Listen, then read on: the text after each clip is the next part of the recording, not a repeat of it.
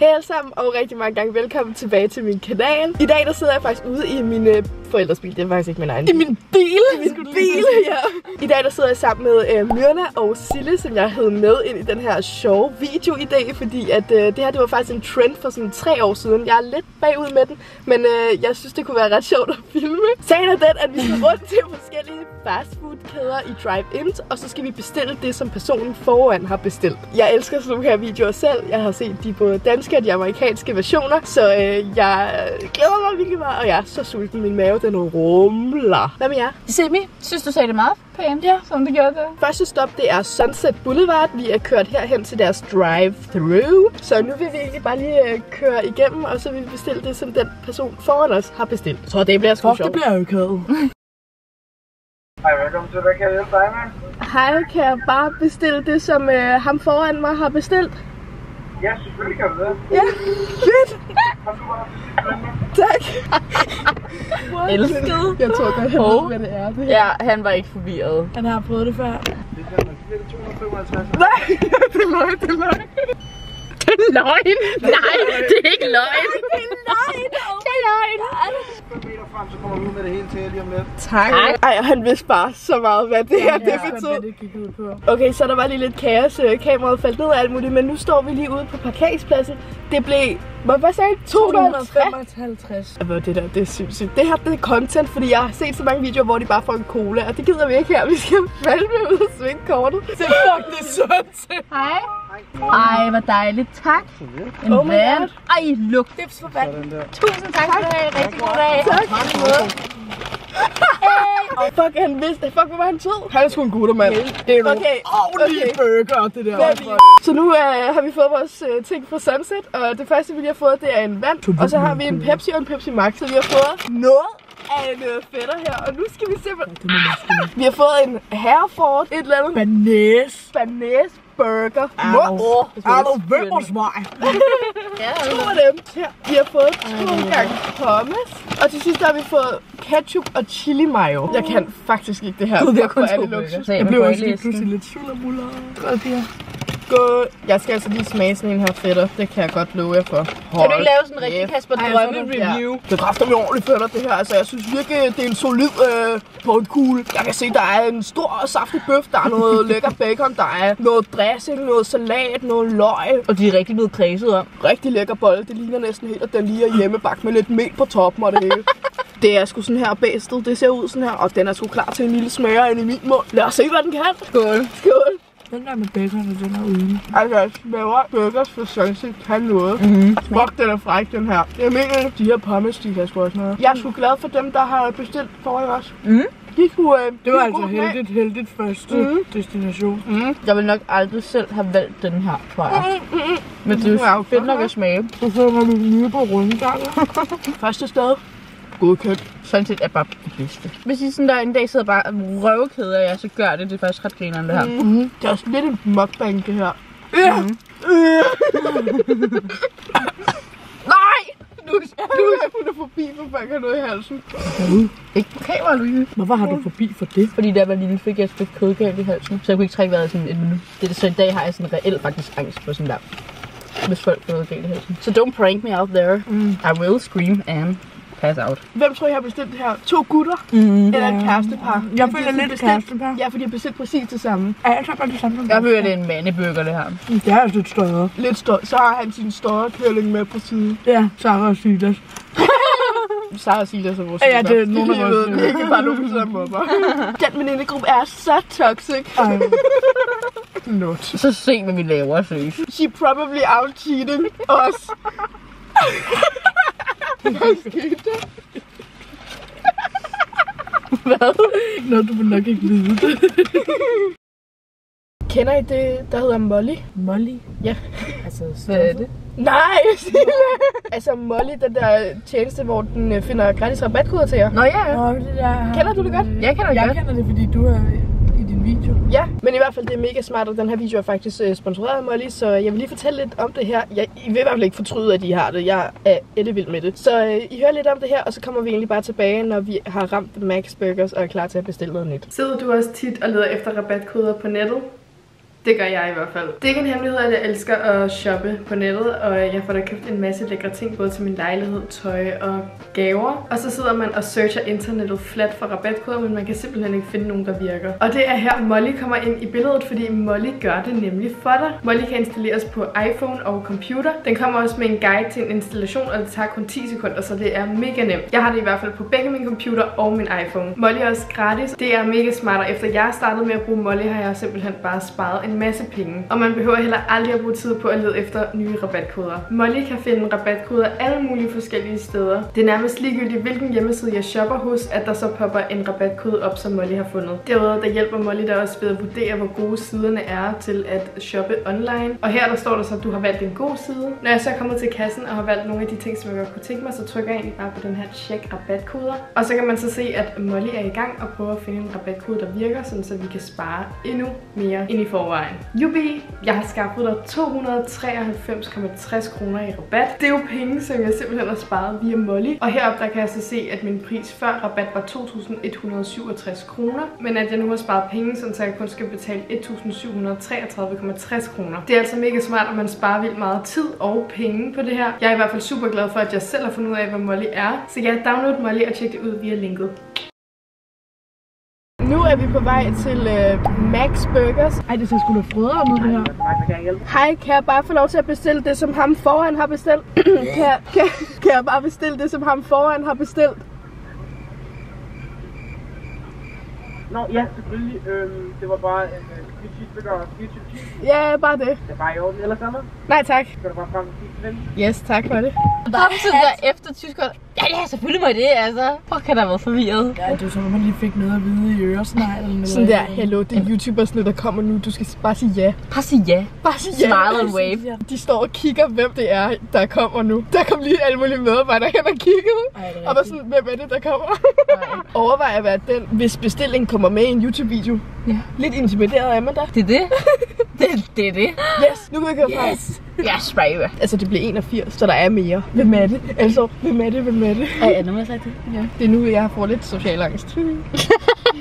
81 kroner. Hvad må det er? Tak for det. Tak. I lige måde. Nu holder vi lige parkeret herude ved Big Herlev, og øh, vi har været på Max Burger, så nu skal vi lige se, hvad der glemmer sig hernede. Hold da kæft. Der er fire cheeseburger. De er så ret gode, de Og en lille cheeseburger. pose crispy. Ej, en nuttet cheeseburger. Ej, nu er det. Lad os se, hvad det kan. Tror du, der det er en, der bestilte fire, eller hvad? Der kom den jyske kastang sang der. En cheeseburger fra Max Burger ser altså sådan her ud, så øh, lad os se, hvad det kan. Den der står super fucking meget. Og flækker af grin. Den her, den kan sgu noget. Men det er sjovt, jeg kan virkelig godt smage på bøffen, at det ikke er det samme som Burger King slash McDonald's. Ja. 100 procent. Slush McDonald's. Slush. Chili cheese top. Ah, det er derfor, de var så langsomme. Det er fordi, de virkelig lige er nylavet. De er gode. Det er sådan rigtig cheese, der er inde i. Så øh, nu har vi været på Max Burgers, og øh, nu skal vi simpelthen videre til næste stop, som er Burger King. Jeg har lavet virkelig midt, for at være helt ærlig. Så øh, ses derhen, gutter.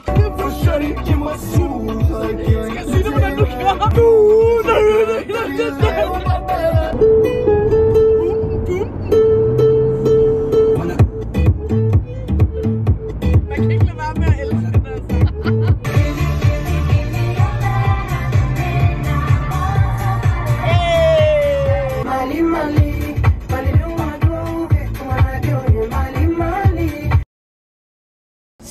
der står vi simpelthen parkeret ude foran Burger King, og øh, vi skal egentlig derind. What? Velkommen til Burger King. Det går lige det skal være der, så. Jeg får lige et øjeblik. Ej, cheese fries. Det vidste jeg ikke, de havde her. Ej, det bliver spændende det her. Vi får sikkert en chicken royale, føler jeg så meget, vi gør. Tror du? Jeg har det sådan der, på fornemmeren. Det er bare en Yes, crispy. hvad kan jeg? Kan jeg bare bede om det, som øh, den foran mig har bestilt? Hvad siger du undskyld? Jeg skal bare bede om det, som ham foran mig har bestilt. Ja?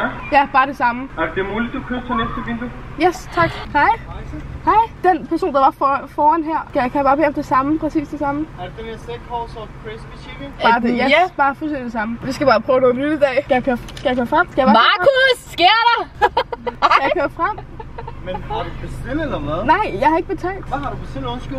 Ja, men jeg vil bare gerne have det, som ham foran mig har bestilt. Lad mig tage med Altså, Markus. Lad mig tage med Markus. Markus er kunde derinde. Nej, han arbejder der. Hvorfor tror du, han ikke har en kasket på? Selvfølgelig er han ikke kun. Uh, hej. Nej. Uh, vi skal bare bede om det, som den foran har bestilt. Altså... Du behøver ikke sige, hvad det er. Det er noget, jeg sige. Ja, okay. Perfekt. Yes. Hils Markus. Jeg anede ikke, at Markus arbejdede Ham der her. gik også på brokken. Jeg har set Gjorde han? Ja, det var nok også, at han havde det smørrede smil på. Ja, han havde virkelig Det var sådan, smørret hvad så, dame? Ja, det var meget hvad så damer-agtigt. Hej.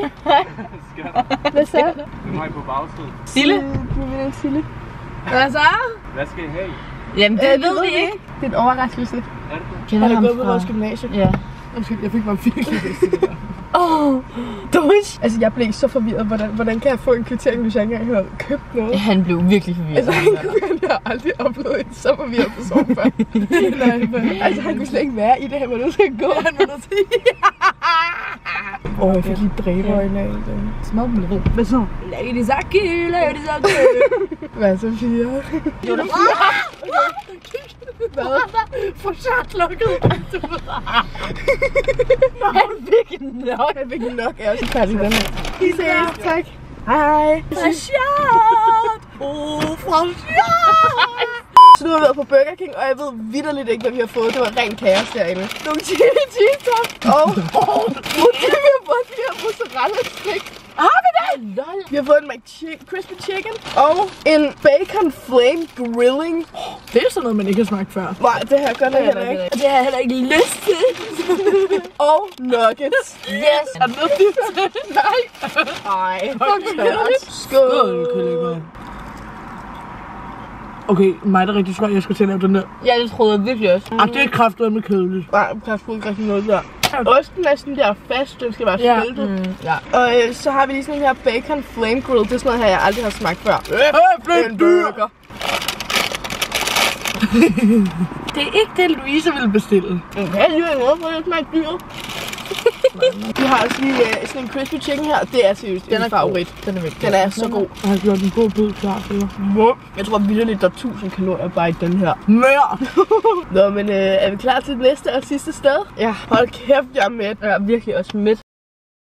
Okay, så nu har vi simpelthen ramt øh, McDonald's, og nu skal vi bare bestille her. Hej, velkommen til McDonald's. et øjeblik, Ja. så kommer vi. Selvfølgelig. Ej, jeg håber altså ikke, den står ordre nu. Nej, jeg kan ikke. Hvad, kan jeg hjælpe dig? Hej, kan jeg bare bestille det, som ham foran har bestilt?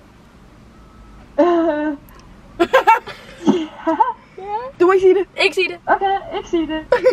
Tak. Så skal jeg bare videre til næste Ja, tak. Nu ikke, så kunne de jo faktisk sælge os hvad som helst, de ville. De have lavet en 2.000 ordre nu, og vi havde bare stadig svinget dankortet. Hvorfor udnytter de det ikke lidt? Big tasty bitch! Jeg tror, jeg er blevet helt høj på fast food. Og det var den mystiske bestilling. Yes. Kold kontakt. Uh, bare kort. Giver du 113 kroner? Nå, alligevel. Sille. Stop. Det er den mystiske. Milkshake! Ej, jeg håber, der er sådan noget øh, is eller sådan noget. Jeg er pissefuld, som om der ikke var flasker nok. Kokain og kællinger. Det er den pose, vi skal have. Yes, der er en cola! Kaviar, kokain og kællinger. Nå, for at høre den. Yes, baby, mand. Yes, baby, mand! Uh, en cola! Vi har i hvert fald fået en cola. Nu er jeg lidt træt af jer. Ved du, hvor tæt på det var? Det var dig, der skulle tage den. Så det Du kan ikke bare lægge den bagover. Må jeg lige få en lille tår? Så kom. Så vi har... Øh, Louise glæder sig rigtig meget til det her, fordi det er hendes livret. I afbryder mig hele tiden. Jeg kan ikke aldrig, jeg skal til håndbold om vidderligt lige om lidt, så må jeg gå herfra. Åh, Seks chicken McNuggets. så har vi en Big Tasty Bacon menu. Åh. Fordi det at, er flæskes ja. ret. Men der er ikke noget dip til dem her. Hvorfor bestiller folk ikke dip til deres ting? Det jeg virkelig ikke. Så her, der er bæstet, vi skal smage, og vi skal smage den alle sammen. Det er sådan en her, jeg aldrig bestiller, for jeg føler, at det der sovs smager lidt af peber. Jeg kan huske, at vi ikke kunne lide sovsen Det er det. sidst. Fuck, der er jo meget dress der. Hvem må få Det er den sådan noget, jeg får Der er meget stress til, så Jeg kan ikke lide dress. Og vil du godt have den her for? hvem fanden spiser nuggets uden dip? Psykopater!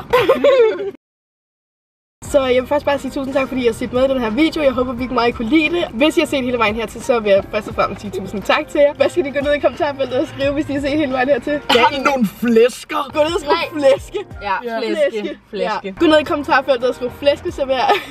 Så vil jeg like reacte din kommentar. Og øh, så ses vi egentlig bare på næste mandag, hvor der kommer en sommerhustur vlogger. Hey! Farvel. Vi ses. Hej hej. Hey. Hey. Hjem derhjemme. Hey.